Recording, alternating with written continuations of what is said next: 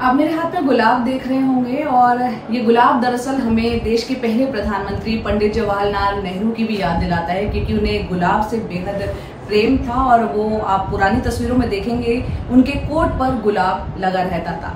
आज हम क्यों उनको याद कर रहे हैं? आपको बता दें, आज है 14 नवंबर। ये वो तारीख है जब पंडित जी का जो है जन्मदिन था, यानी कि आज के दिन वो इलाहाबाद में 1889 में वो पैदा हुए थे और आज एक जयंती पूरा देश मिलकर मना रहा है।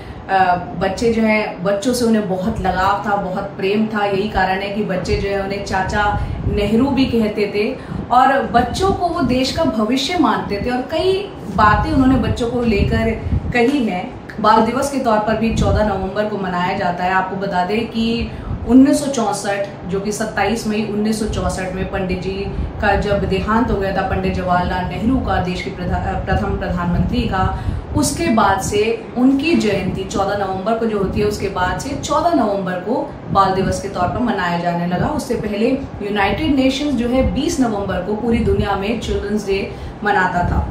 बहरहाल, यहाँ पर हम बच्चों का ज़िक्र कर रहे हैं। बच्चों को लेकर जो है, पंडित जवाहरलाल नेहरू मानते थे कि बच्चे बागों में खिली उस कली की तरह होते हैं, जिनकी परवरिश बहुत सावधानी और नरमी से करनी चाहिए, क्योंकि वो देश का भविष्य है।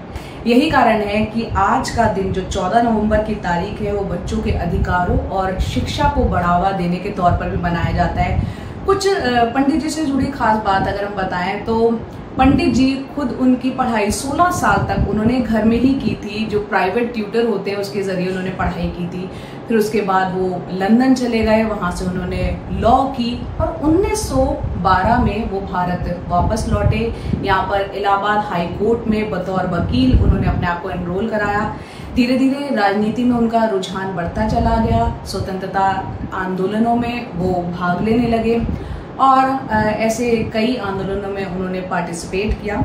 और उनके कार्यकाल की अगर बात करें प्रधानमंत्री उस दौर के वो रह चुके हैं पंडित जवाहरलाल नेहरू उस दौरान जो है कई शिक्षण संस्थान और कई अन्य संस्थान खुले जिसमें कि प्रतिष्ठित आईआईटी, आईआईएम, इसके अलावा एम्स खुला डीआरडीओ इसरो। तो एक आधुनिक भारत के निर्माता के तौर पर भी उनको याद किया जाता है। तो ज़रूरी है 14 नवंबर आप भी जो है बच्चों को बताएँ देश के पहले प्रधानमंत्री के बारे में और सभी अच्छे से सेलिब्रेट करें। Happy children's day